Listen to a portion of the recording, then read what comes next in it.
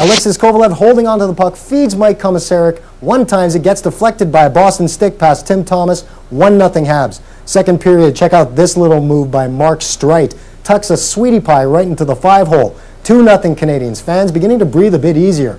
Late into the second, Sergei feeding brother Andre. Tim Thomas can't decipher the scuffle.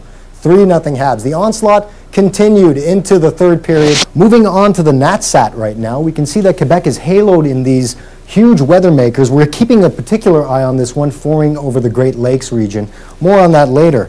But as you can see right now in southern Quebec and the corridor and in New England, it's pretty clear but cool.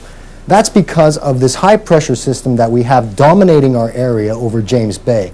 However, this is going to be giving way, moving eastward into the Gaspé region, uh, making way for this warm front and this low pressure system coming down from northern Ontario.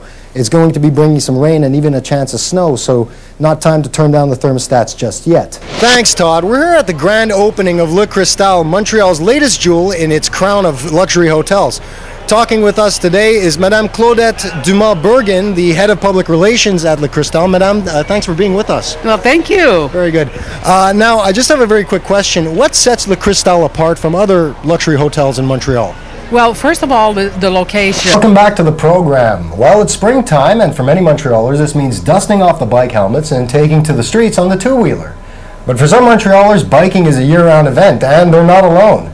We're talking to Miguel Mucandila now, who's going to tell us all about gang riding in Montreal. Thank you for joining us, Mike. Oh, I'm glad to be here. But comic book fans don't need to wait months and years. Just in time for Free Comic Weekend, Iron Man opens on Friday. But Iron Man won't be alone this summer. Sequels to Batman, the Hulk, and Hellboy will also be joining him, making it a very animated summer for action aficionados. On the CMTS Entertainment Beat, I'm Mike Shewchuck. For many Montrealers, it's the highlight of the season. St. Patrick's Day weekend is one of the biggest events of the year, and this year was no exception. The United Irish Societies of Montreal have been organizing the St. Patrick's Day Parade for over 170 years.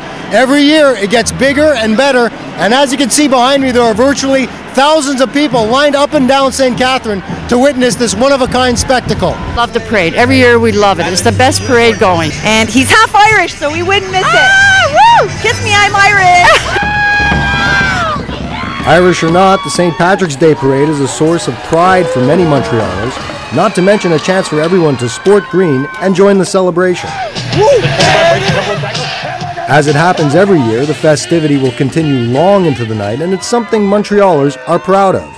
But none could be prouder than the UIS's parade marshal, John Meany. Look at each side of the street. You don't have to worry. Every every nation in the world is here today. And that's Everyone's Irish on St. Patrick's Day. Irish on St. Patrick's Day. Something Montrealers embrace every year. Mike Shewchuck, CMTS News.